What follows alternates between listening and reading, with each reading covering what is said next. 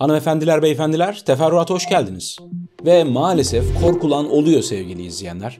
Depremden sonra yapılan o büyük yanlışlar, büyük haksızlıklar, büyük kötülükler, büyük utanmazlıklar, büyük ahlaksızlıklar neticesinde insanların güvenini gasp ettiler. Ve nihayetinde Kızılay bugün Twitter'dan, sosyal medyadan insanlardan kan istemeye başladı. Ve bu kan isteme anonsunu nasıl yaptılar biliyor musunuz? Kızılay'ın stoklarındaki kan asgari seviyenin de altına düştü diye şu anda Kızılay insanlardan kan istiyor. Bu kadar hayati bir konu. Bu kadar önemli bir konu ve insanlar kan vermeye bile güvenemez hale geldiler. 155 yıllık Kızılay'ı, uluslararası bir yardım kuruluşunu, savaşlarda dokunulmayacak, siyaset üstü, uluslararası tartışmalardan, kavgalardan çok daha üst bir noktada duran, bağımsız, dokunulmaz bir noktada duran Kızılay'ı aldılar, götürdüler, iğrenç bir AKP teşkilatına çevirdiler. Başına liyakatsiz, utanmaz, ahlaksız bir adam koydular ve depremden sonra öyle rezil işler yaptılar ki, Kızılay'ın imajını öyle bir kirlettiler ki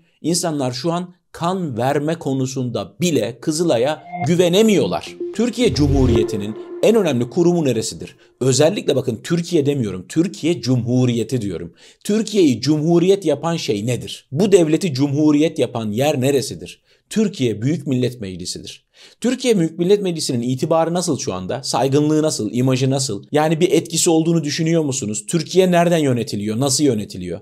Ya da Türkiye Büyük Millet Meclisi'nin başkanından tutun da oradaki milletvekillerine kadar. Mesela kaç tane milletvekili sayabilirsiniz görevini hakkıyla yapan? Bütün siyasi partilerden, iktidarından muhalefetinden aldığı maaşın karşılığını veren, emek veren, alın teri döken, insanlar için çırpınan, vekaletini aldığı halk için çırpınan, gayret gösteren, elinden geleni yapan kaç milletvekili sayabilirsiniz? Bir çırpıda aklınıza kimler geliyor? Hatta videonun altına yorum kısmına yazabilirsiniz. Kaç milletvekili yazabiliyorsunuz? Hiçbir etkisi yok maalesef meclisin. 100 yıl önce Türkiye'yi cumhuriyet yapan, Türkiye'yi bağımsız bir devlet yapan meclis bugün maalesef önemsiz, etkisiz, itibarsız bir kuruma dönüşmüş durumda. Zaten bir taraflarından uydurdukları, Türk tipi başkanlık falan dedikleri, tek adam rejimini inşa etmek için bir taraflarından yamaya yamaya bir sisteme dönüştürdükleri o tek adam rejiminin, o saray rejiminin herhangi bir yerinde meclise yer yok. Orası sadece adet yerini bulsun diye var. Daha da fenası Türkiye Büyük Millet Meclisi'nin başında Mustafa Şentop diye bir adam var ve bu adam hakkında şöyle bir iddia var sevgili izleyenler.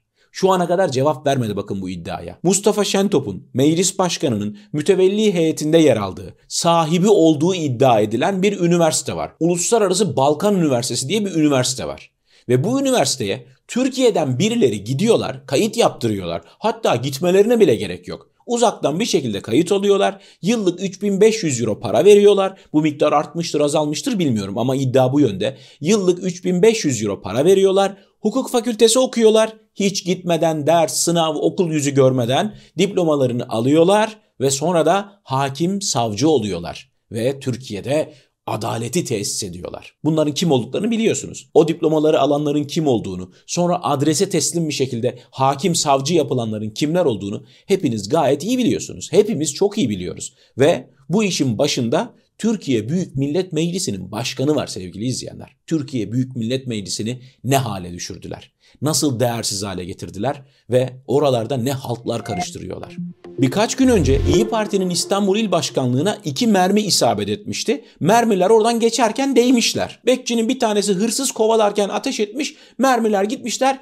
Tam da Erdoğan'ın Meral Akşener'i tehdit etmesinden sonra İyi Parti'nin İstanbul İl Başkanlığı'na isabet etmişler. Kader bilemiyoruz. Ve bugün de CHP'nin İstanbul İl Başkanlığı'na silahlı saldırı yapıldığına dair bir haber var, bir iddia var sevgili izleyenler. Çünkü CHP'nin İstanbul İl Başkanlığı önünde silah sesleri duyulmuş ve boş kovanlar bulunmuş. E, binaya isabet etmemiş, havaya mı sıkmışlar, ne yapmışlar bilmiyoruz ama ama CHP'nin İstanbul İl Başkanlığı'nın önündeki polislerin, güvenlik görevlilerinin ifadesi bu yönde. Bu da mı tesadüf? E olabilir canım. Bu da tesadüf. Zaten Canan Kaftancıoğlu da buna değinmiş. Demiş ki ben Devlet Bahçeli kadar matematik bilmem. Sonuçta biliyorsunuz Devlet Bahçeli 40 yaptırıyor. Diyor ki Canan Kaftancıoğlu bir hafta içinde iki muhalefet partisinin İstanbul İl Başkanlığı önünde silah patlama ihtimali bir insana Milli Piyango'dan büyük ikramiye çıkma ihtimalinden daha mı düşüktür, daha mı yüksektir? Bunu da Devlet Bahçeli gibi bir matematik dehasına bırakmamız gerekiyor sevgili izleyenler. Tesadüftür canım tabii. Tesadüftür. Geçerken yanlışlıkla orada. Tam da CHP İstanbul İl Başkanı'nın önünde tetiğe basaları, havaya sıkaları gelmiştir birilerinin. Sıkmışlar ve gitmişlerdir. Kemal Kılıçdaroğlu'ndan CHP İstanbul İl Başkanlığı'na yapılan saldırıyla, saldırı girişimiyle, saldırı iddiasıyla artık hangi kelimeyi kullanacağımı da bilmiyorum. Bir açıklama gelmiş bu konuyla alakalı ve demiş ki hiç kimse merak etmesin, hiç kimse karamsarlığa kapılmasın. Bu ülkeye baharı getireceğiz demiş. Bu karanlıktan kurtaracağız ülkeyi demiş. Sevgili izleyenler şöyle geriye doğru filmi sardığınız zaman unutuyoruz. Çok fazla olay olduğu için bazılarını unutuyoruz. Ama muhalefet temsilcilerine, ana muhalefet partisinin genel başkanına çok korkunç saldırılar yapıldı. Kemal Kılıçdaroğlu'nun konvoyuna silahlı saldırı düzenlendi biliyorsunuz. Ve koruma polislerinden birisi şehit oldu. Kemal Kılıçdaroğlu'nu yumruklayarak, linç ederek öldürmeye çalıştılar. İyi Partili isimlere, CHP'li isimlere saldırılar düzenlendi zaman zaman. Yani bu Erdoğan'ın dilinden dökülen cümleler, Devlet Bahçeli'nin dilinden dökülen o zehirli cümleler, o tehdit cümleleri boş değil. Üstelik bir ülkenin cumhurbaşkanı çıkıp canlı yayında bir muhalefet partisi liderini böyle tehdit anlamına gelecek cümlelerle uyarıyorsa diyelim ki dış güçler var. Tamam mı? Diyelim ki dış güçler var. Türkiye'yi karıştırmak isteyen karanlık odaklar var. Onlara siz altın tepside imkan sunuyorsunuz, fırsat sunuyorsunuz. Dolayısıyla İyi Parti'nin İstanbul İl Başkanlığı'na iki tane mermi isabet ettiği zaman otomatikman hani diyorlar ya bu bir provokasyon. Provokasyon pasını siz verdiniz. O asisti siz yaptınız. Sizin reis dediğiniz adam diline hakim olamadığı için, öfkesine hakim olamadığı için, konuşmayı bilmediği için, prompter önünden gittiğinde ne dediği belli olmadığı için böyle laflar söylerse şayet Türkiye'nin dış düşmanları varsa Onlara böyle altın tepsi içinde siz mükemmel bir pas veriyorsunuz. Gel benim ülkemi karıştır diyorsunuz. Gel seçimlerden önce kargaşa çıkar diyorsunuz. Cumhurbaşkanı bu kadar dengesiz konuşabilir mi? Ya da bir cumhurbaşkanı kendi tabanının içinden çıkacak bazı manyakları hesaba katmıyor mu? Katamıyor mu? Dün Meral Akşener meclis kürsüsünde çok sert bir konuşma yaptı. Çok sert mermilerle, kurşunlarla, şiir gibi bir konuşma yaptı. Normalde dün ben bundan bahsetmek istemedim.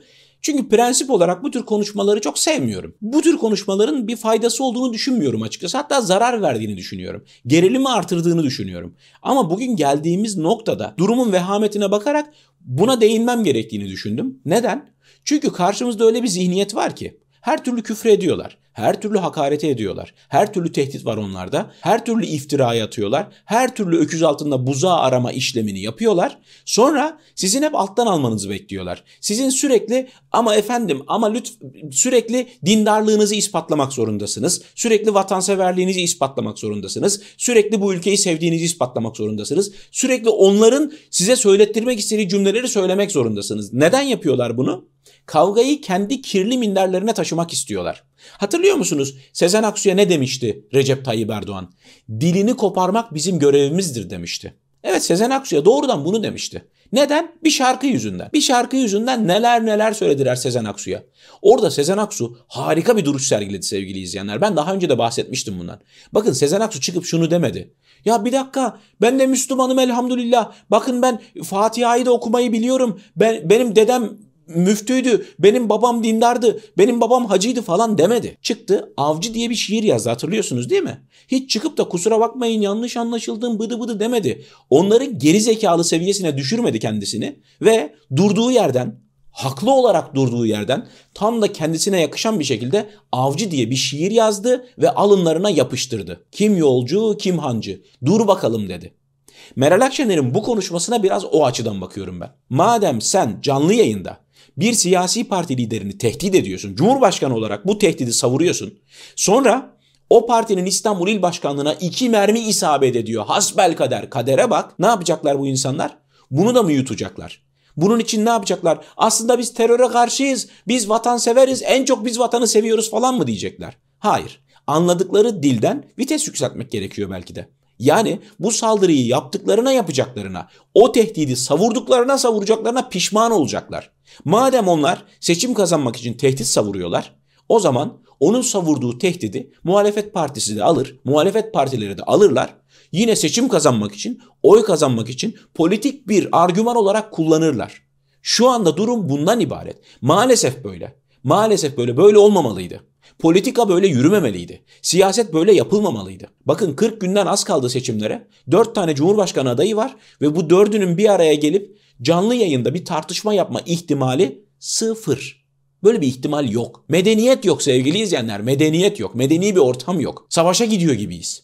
Savaşa gidiyor gibiyiz. Herkes gergin. Hadi Erdoğan seçimi kaybeder de koltuğu teslim etmezse. Hadi seçimlere giderken 7 Haziran 1 Kasım arasında olduğu gibi hadi seçim ikinci tura kalır da aradaki 15 günde bombalar patlarsa. Herkes böyle korkunç ihtimallerden, endişelerden bahsediyor. Ve maalesef bu ihtimaller, bu endişeler altı boş değil. O yüzden belki de Meral Akşener'in normal zamanlarda çok abartılı bulunacak bu konuşması gerekiyordu diye düşünüyorum. Bilmiyorum. Bilmiyorum tabii sonucu ne olur? Bir faydası olur mu olmaz mı? Meral Akşener bu konuşmayı yaparak partisinin dağılan oylarını yeniden toplamaya mı çalışıyor? Elbette öyle yapıyordur. Sonuçta politika yapıyor. Ama nihayetinde bu ülkenin Cumhurbaşkanı canlı yayında çıkıp beni kendinle uğraştırma diyor. Tehdit ediyor. Sonrasında da mermiler, silahlar ve gerginlik. Ülkenin ekonomisini mahvettiler. Ülkenin eğitimini mahvettiler. Ülkenin yargı bağımsızlığını, adalet sistemini mahvettiler. Ülkede mahvetmedikleri hiçbir şey kalmadı sevgili izleyenler. Hangi açıdan bakarsak bakalım, hangi konuda istatistik bulursak bulalım karşımızda korkunç bir tablo var. Ve şimdi seçimlere gidiyoruz. Evet, seçimlere gidiyoruz. 2018'de Erdoğan %52 ile seçimi kazandığında işte dolar 5,5 lira filandı. Şu anda dolar 20 lira, euro 21 lira. Sterlin 24 lira. Soğan 30 lira.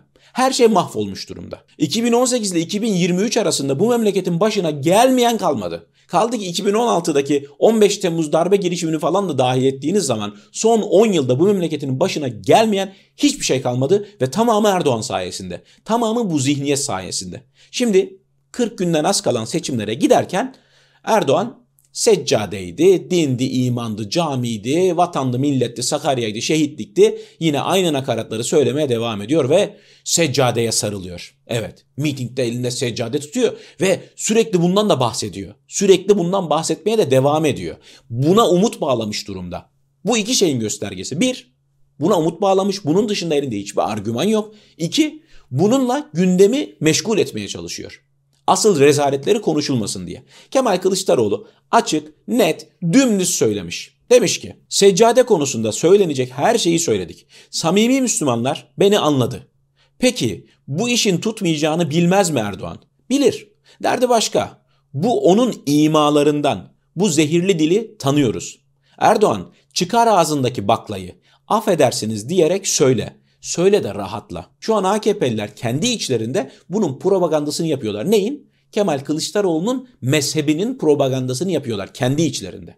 Ama henüz Erdoğan bunu dümdüz bir şekilde dile getirmedi. Bakalım ne zaman söyleyecek? Bunu söylememek için kendisini zor tutuyor. İlk fırsatta Erdoğan Kemal Kılıçdaroğlu'nun mezhebinden bahsedecek. Çünkü dinden, imandan, namazdan, ibadetten, camiden, cemaatten konuşuyorlar. Sürekli onun etrafında dönüp duruyorlar. Her an Erdoğan bir yerde affedersiniz Alevi diyebilir. Der sevgili izleyenler. Daha evvel neler neler söyledi. Rakiplerine neler neler söyledi. Ya zaten normalde şu an müttefiki olan Devlet Bahçeli'ye söylediği lafları, küfürleri falan şöyle bir alt alta dizsek Erdoğan'ın nasıl bir insan olduğu ortaya çıkıyor. Şu andaki rakiplerini değil bak. Şu andaki müttefiki Devlet Bahçeli'den bahsediyoruz. İşte bu yüzden de Erdoğan'ın o zehirli dilinden her an hepimizin beklediği ve duyunca şaşırmayacağı o açıklama gelebilir.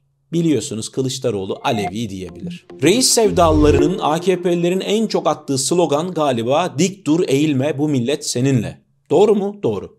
Neden bu kadar çok bunu söylüyorlar? Neden sürekli Erdoğan'a dik dur eğilme diye yalvarıyorlar? Hepimiz gayet iyi biliyoruz. Çünkü duramıyor, dik duramıyor.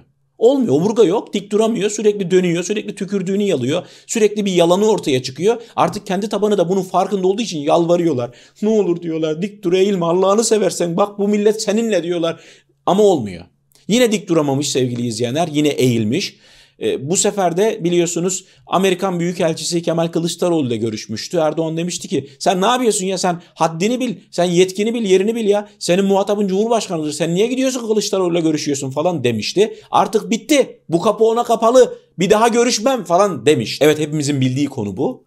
E, sonra iki gün sonra e, Amerikan Büyükelçisini saraydaki iftara davet etmiş Recep Tayyip Erdoğan. Ama Amerikan Büyükelçisi gitmemiş. İşim var demiş gitmemiş. Hadi buyurun bakalım dünya liderliği. Hadi Türkiye'nin itibarı. Hadi saygınlık. Hadi Orta Doğu'da sizden habersiz yaprak kımıldamıyor. Konuşun. Bir ülkenin büyükelçisi böyle bir tavır alıyor ya. Tavır alıyor. Ya arkadaş bir cumhurbaşkanı bu kadar dengesiz konuşur mu ya? Bir cumhurbaşkanı bu kadar sorumsuzca konuşur mu ya? Konuşuyor, konuşuyor, konuşmaya devam ediyor. Olan memlekete oluyor yani.